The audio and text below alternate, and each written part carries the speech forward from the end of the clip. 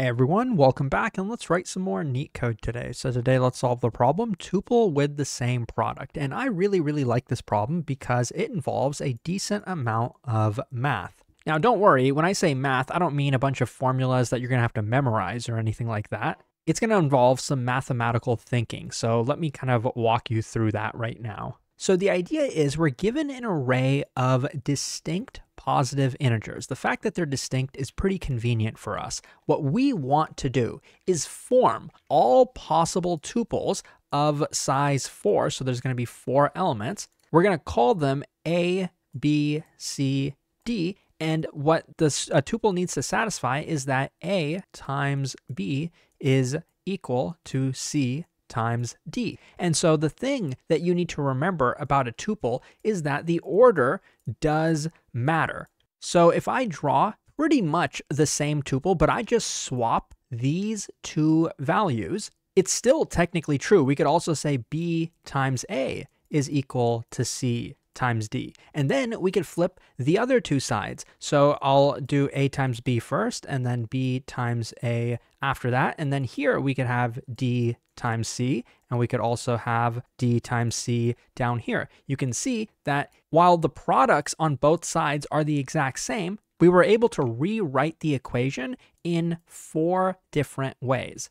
And we could actually get four additional ways just by taking all of these and putting them on the right side and taking all of these and putting them on the other side. I think I said right side uh, a second ago. I meant left side, sorry. But basically, what we've realized is that if we find four values that satisfies that condition, then we've actually found eight tuples. Every time that happens, we found eight new tuples. And so that's why in the first example, you can see that it's not a coincidence that we have eight over here. And it's also not a coincidence in the second example. We find one formula, 1 times 10 is equal to 2 times 5. Each side is equal to 10, as you can see. And we found a, a second formula, 2 times 10 is equal to 4 times 5. Each side here is 20. So this is going to be 8 tuples, and this is also going to be 8 tuples. So we end up with a total of 16 tuples. Now, I'm not quite done yet. You might be thinking that, okay, well, there's definitely a brute force solution to this problem that can run in n to the fourth time. And yeah, there probably is. I don't know how easy it's going to be to code that up because to be honest, I didn't do it. It just seemed like it would have been really, really tedious and also that it probably wasn't the intended solution. So I was thinking of some other solutions and that's what I'm going to show you. I'm going to show you a more optimal solution that actually runs in n squared time. But before we can do that, let's try to build up some intuition. One thing that you could say about this second example in particular is that we had two different ways that we could total up to 10. So 1 times 10 and 2 times 5. So basically, for the product that is 10, there were two ways that we could create that uh, number. And same thing with 20, actually. We could form 20 in two different ways. So just to be clear, this is like n1 times n2, and this is the count of how many ways we can form that. If, for example, we had something like a 1 times 30, and we could only form 30 in a single way, well, then we can't really satisfy the condition A, B, C, D, where this times this is equal to that. So to me, it's kind of becoming clear that we don't necessarily need to loop over everything. Even if we were looping over everything, and we had four different loops, and the first two loops pick these two numbers, well, yeah, we could loop through the rest of the numbers and try to find all pairs that have the same exact value as this. Or why not just do some pre-computation and instead of looking at numbers four at a time, why not just look at numbers two at a time and then just get the counts of those and then somehow maybe we can use these counts to determine the total number of tuples. So maybe it's possible, let's try exploring this. So if I had a mapping like this, and I think it's obvious that probably we'd want to use a hash map or something like that for this,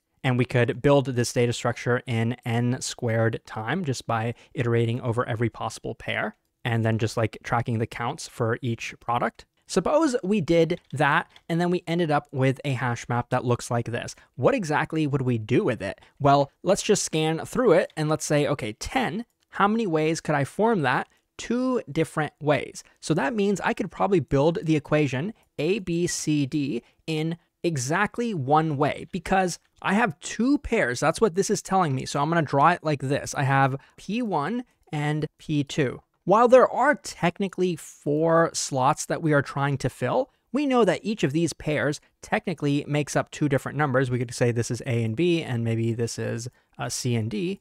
Well, in this case, I think it's obvious. We could put one pair that fills one of the like pair slots, and then the other pair would fill the other pair slot. And so this way, we wouldn't count this as one tuple, we would count it as eight tuples. And then we would scan through the other guy, this over here, and do pretty much the same thing. So then we'd have eight additional tuples. And lastly, for this guy over here, 30 only shows up once. So actually, we don't have the second pair. We only had a single pair, and that's definitely not enough to satisfy the entire equation. So this guy we would skip. So now it becomes obvious that we would only care about the ones that have a count greater than one. So at least it has to be two. But what if it was actually three? I think this is one possible way where we could end up with three different pairs. They all equal a 12. So 12 will have a count of three. So that tells us we have three pairs. Let's call them P1, P2, and P3. We have four slots that we're trying to fill, but we know that each is kind of grouped into a single slot. So here's what we could do. We could do this P1 and P2, or we could do, and actually I can just kind of draw them here. So P1 and P2. Or we could do P1 and P3. Or we could do P2 and P3. Each of these is technically a different equation. And part of the reason for that, like the guarantee, is that we know that all the numbers in the input are going to be distinct. So we can kind of be sure of that. But all three of these are going to be different. Each of these deserves a count of eight. It can form eight different tuples. So we'll get eight plus eight plus eight. Okay, so now to kind of summarize a few of the findings that we have made. Because while this is kind of building the intuition, I don't think you're probably sure of what exactly the equation is going to be. Like, what do we do with this count number? Let me kind of show you. So I'm going to draw a little table over here. Suppose I have a count of zero. Well, that, that's going to lead to all zero, so I'm actually going to skip that. But if we had a count of one, when I say count, I mean this over here. We have a product that shows up a single time. Well, we know that we can form zero pairs. And when I say pair here, I mean like the equation that we can like satisfy. If we only have one of these, we can't really satisfy that equation. If we have two of them, we can satisfy that equation once. So I'll put a 2 here, and that means we can satisfy the equation once. And if we had 3, we can actually satisfy the equation 3 times. Now, if we have 0 pairs, or like that many times we satisfy the equation, we will end up with 0 tuples. If we had 1, we will end up with 8. If we have 3, we will end up with 24. So I'm going to fill in two more rows here, and maybe you'll be able to figure out the pattern by yourself. If not, that's fine. I'll try to clarify it. Now, I'm not going to draw out everything to fill in the rest of this table. I'm actually going to use my intuition. I'm going to say if I had four count, then how many like pairs from those counts could I create? So like if I have four of these, how many can I create? Well, I know with three, I was able to create three pairs. So with three, I can create three. Now that I have four, I introduced a new one. So with the introduction of this new guy, how many more can I create? Well, with four, I could do four and one, I could do four and two, or I could do four and three. So I can take three additional and put them here. So whatever I had before plus three. So I'm going to put a six over here and we know that to go from here to this, that's like the very, very straightforward part. So here we'll just get 48. Now, one more time, just to really drive this home, I have five now. With the introduction of P5, I can now do this, this, this, and this. So basically four more. So whatever value I already had plus the count that I originally had. Now with the fifth, I can create four more. So I'll take six plus four and I'll put 10 here. And then here I'll get 80. This is just a multiplication of eight. So now knowing all of this, there's actually two different ways to code this up. One is by using a, a second hash map. So we already have this hash map up above. And if we create a second hash map, which doesn't track the counts like the first hash map is doing, we will actually track this with the second hash map. So that's one approach. And the second approach is there actually is a math formula that can take this value and map it to this one. It can take this value and map it to that. It can take this and map it to that. I'll cover the math one after the hash map one. I'll probably just cover this in the coding explanation. But I want to briefly cover the first one because I think this one might be easier for some people who don't really like math. I think this one is actually more reasonable. And I think it's pretty intuitive. So let me briefly cover that. We're going to have a second hash map down here. So I'm just going to kind of group this into a hash map. And then down here, I'm going to have my second hash map. If I see a pair, suppose 1 times 12, I'm going to take 12 and increment the count here. So uh, let's initially say that this is 0, but now we increment it to 1. We also know that to calculate the value here, going uh, from here to down here, all we do is take the original value and then add to it this one. So I know this part is probably like kind of complicated conceptually. In terms of the code, it's actually going to be pretty easy. So let me just kind of show it to you. Let's say we initially had a zero over here. We're going to take zero and add it to this second hash map. So for 12, we're going to say it's already mapping to zero, so add zero to it. It doesn't really do anything. And then to this, we're going to increment it by one. This part is always going to be easy because we're always going to increment this by 1. So now let's say we found another pair of 12. Maybe it's 3 times 4. I'm going to increment this by 1, but before I increment it by 1, I'm going to take the value that's here and add it down here. So now I have a count of 1 down here, and now I'm going to increment this by 1, and now I have 2 up here. So that looks uh, pretty correct to me. And suppose we add one more. Maybe it is uh, 6 times 2. Before we add one to this, we're going to take this value, so like this, and add it to this one, and that's how we find the next value that's going to go here. So that's exactly what we're doing on the right side as well. We're going to take this 2 and add it down here. We're going to end up with 3, and then we increment this simply by 1. So now this will also be mapped to 3. If we did it one more time, then this would have been added here, giving us a 6 down here, and then this would have been incremented by 1, giving us a 4, and you can see that is indeed correct. And the whole reason that we are building this second hash map giving us all these is that we can easily take this and just multiply it by 8 to get the next one, which is the number of tuples. And then ultimately, we just want to get the total number of tuples. That should be easy enough to accumulate. So all this said, let's jump into the code now. So let me just reset this. And uh, what we ultimately want to do is have these two hash maps. I'm just going to copy and paste them. So one is the product count. So that's like n1 times n2 is how many like of those that we have.